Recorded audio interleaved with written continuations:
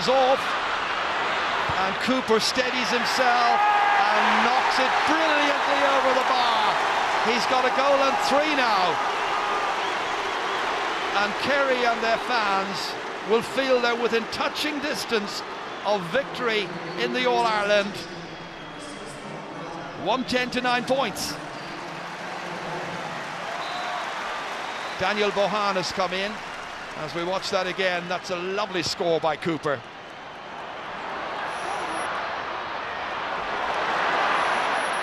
Bohan is on number 17 there for Eoin Brosnan. So Kerry's turn to freshen up proceedings, and they must be looking confident.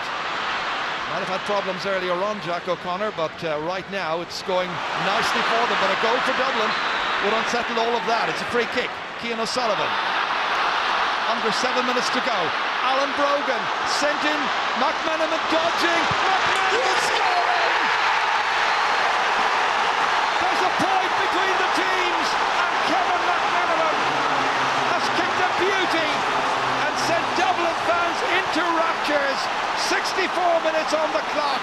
Beautiful pass, wonderful work, precision here by McManamon. He made a difference in the semi-final, and when he took the pass from Brogan here, he's made a difference in the final itself, rounding Declan O'Sullivan and beating Brendan Kealy 110 to 1-9. It ain't over yet. Wonderful conviction that time from uh, it must be said from Kevin McManamon. What a bad mistake further out the field by Declan O'Sullivan, who conceded possession far too easily. Now who's going to win the All-Ireland? Tom O'Sullivan and Jack Anthony Maher in the end from that pass from O'Sullivan. Down went Michael Darragh Macauley, free to Dublin, and now they come looking for the equaliser at the very least. Diarmuid Connolly, 45 minutes out, he's got a loose player on the side.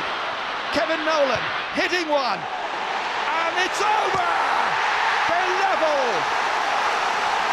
Kevin Nolan, his in championship football, has lit up Croke Park. And in the 65th minute, as he kicked it from 35 metres out, straight between the posts, he's made it Dublin 110, Kerry 110, and the teams are level for the fifth time. Well, you just have to salute the character of the Dublin team. They looked down and out for a couple of moments, but two mistakes, one from, from two very experienced players, one Declan O'Sullivan, the other Tom O'Sullivan, and gave two opportunities to Dublin, and they took both with aplomb. They're two great scores.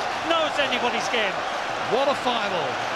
Tremendous entertainment provided by Dublin and Kerry, and this goal again has Croke Park humming.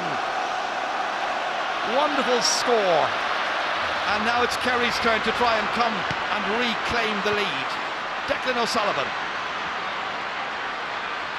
Trying to go by, stopped. Referee says play on. He does. Alan Brogan's after him. Still Declan O'Sullivan. Back as far as Killian Young. Further back to Tom O'Sullivan. Kerry will have felt that they almost had this match won. They were four points ahead. Seven minutes to go.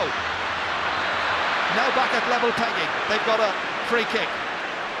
Eoghan O'Gara committed the foul on Anthony Maher. Paul Galvin with ball in hand. Now will they kick it long? Will they try and somehow create a scoring opportunity nearer to goal? Galvin the architect. Oh, it's beautifully done by Barry John Keane. Used his ball, body to shield the uh, ball from the opponent. And Kerry have it. Tomas O'Shea slipped in as far as Darran O'Sullivan. Hasn't scored, but my goodness, how he's played. Barry John Keane giving it back to Darren. It's further back as far as Galvin. Tomas O'Shea, second shaved off the clock, four minutes left. Huge ball outside towards Killian Young, back again towards Cooper, the captain, trying to take on Fitzsimons. Down he went. Referee doesn't whistle. It's still Cooper. Challenged this time by Alan Brogan. Back further towards Anthony Maher. Teams level.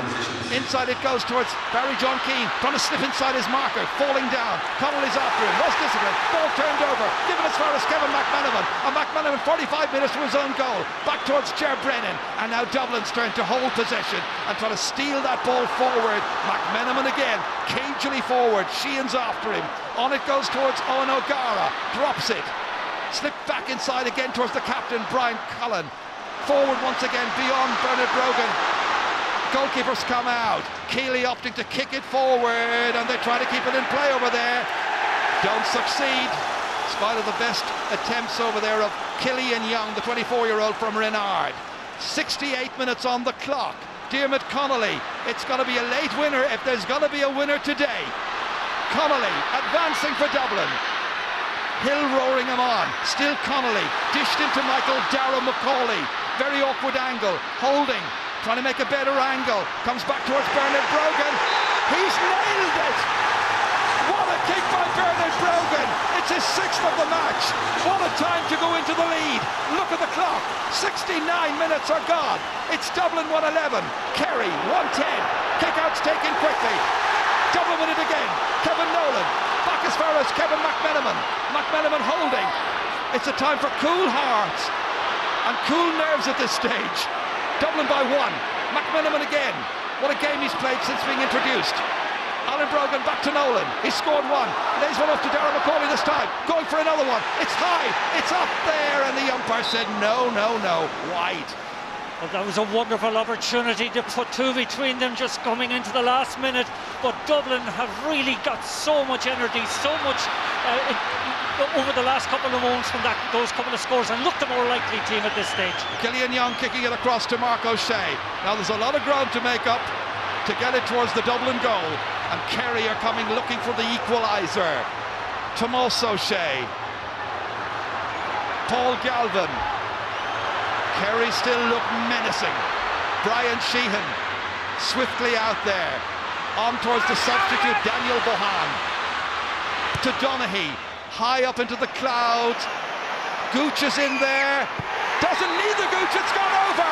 It's a remarkable point by Kieran Donaghy. He's kicked his second, he's kicked the team's level. Are we heading for a replay for the first time in 11 years? Two minutes of additional time to be played. 111 to 111. Well, you have to credit Kieran Donaghy that time talk about courage, talk about bravery and character to take on that shot, never mind score it. Dues to him. If there's a replay, it'll be in two weeks' time, we believe. It's 111 to 111. Oh, Ger Brennan was given a free kick and he's now knocked Donaghy out of the way and the free kick is going to be cancelled. And that kind of silliness will annoy Pat Gilroy and the management team, and correctly so. 15 seconds nearly into stoppage time at the beginning of two minutes of it, and the game there to be won. Well, that's stupid, it must be said, to lose the opportunity of going up and winning, uh, getting the winning score. Back come Dublin again. Alan Brogan, McManamon. Is there a winner? Who's going to get it? Will it be today? Macauley on as far as Connolly, stopped in his tracks by Aidan O'Mahony. Still Diarmuid Connolly. Kerry back defending. McManamon attacking. And he's tripped and it's a free in. A free kick to win the All-Ireland. And they're going to bring up their goalkeeper, Stephen Cluxton, to see if he can put this one over the bar and win the title for Dublin for the first time since 1995. What drama in Croke Park. Well, it's extraordinary in her scene set beforehand. I took and talked about Stephen Cluxton, talked about his importance to the Dublin team, and talked about his ability to accurately, accurately kick frees from distance. Now he has the most, uh, you know, important kick of his career for Dublin, for the supporters. Let's see, can he hold his nerve? Stephen Cluxton, the fans trying to hold their nerves in his 55th championship match. 15 points in his career so far. He's already got one today. The distance with the angle about 45 metres. Here he comes to win the All-Ireland. Cluxton, he's put it over the bar and Dublin are in front by 112 to 111. Cluxton the hero and the two minutes of added time has been played we now wait for the referee's whistle. Referee looks at his watch. Kerry, it's all over. Dublin have won the All-Ireland. The most dramatic, the most wonderful of finishes. Kerry beaten, Dublin tri triumph. What a triumph. It's Stephen Cluxton who's done it as Dublin end a long barren spell of some 16 years and a first win in the final since 1995. They all go to Pat Gilroy. Sheer disappointment for all of the Kerry players. But the Sam Maguire Cup will be staying in the capital at least for the next 12 months. It's been an outstanding victory for Pat Gilroy and his squad as Dublin beat Kerry in an All-Ireland final for the first time in 35 years. They all want to share in it.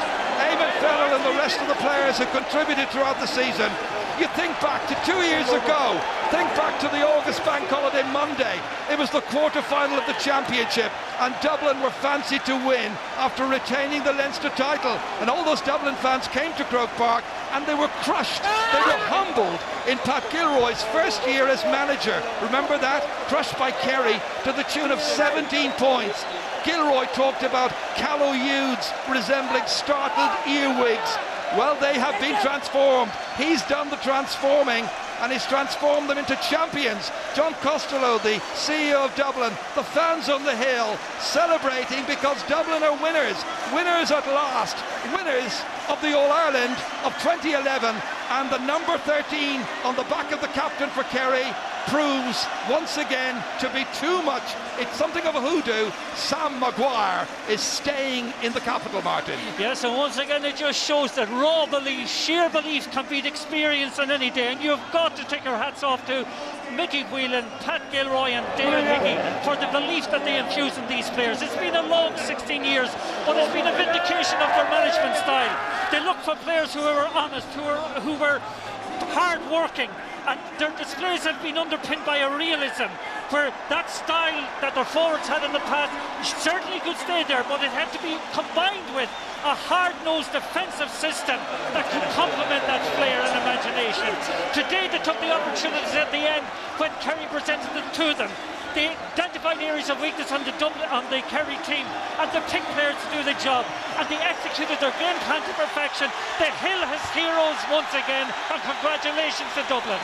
Well, Kerry did not score since the 63rd minute, and uh, well, they Dublin fans just celebrating again and again and again, and fans all over the world will celebrate this. Dermot Wing, for instance, is watching in Perth. He's a Dublin fan. Bet he's enjoying himself right now. And Ciara and Michael, who are watching this match in uh, Missouri and Miami. They're Ciara and Michael Stack. And there's Michael Kenny in Chicago as well watching. broken-hearted Dublin fans. Well, wherever you are watching all around the world, whether it's in New Zealand at the World Cup, whether it's anywhere around the globe. I hope you've enjoyed the drama because what a final it has turned out to be. Yes, and the prestige and the currency that goes with beating Kerry is the greatest I think that Dublin could have had. Final score at Croke Park in the All-Ireland final, Dublin 112, Kerry 111.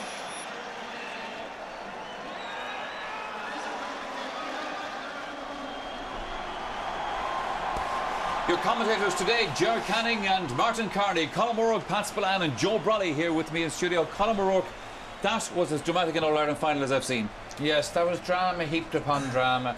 It was the most amazing game and uh, Dublin have won but Kerry will ask themselves how they lost. They had the game under control with uh, 15 minutes to go, four points up. Seven minutes to controlling the whole midfield play, controlling the flow of the game, and then Kevin McManamon, who came on and more or less won the game for Dublin against Donegal, he's done yeah. so again. Yeah. He lifted them, and of course, in many ways, was fitting that Cluxton would kick the winning point because against Donegal, when Dublin were struggling, he worked the oracle again. But it was a brilliant game, and of course, Pat would be disappointed, Kerry would be disappointed.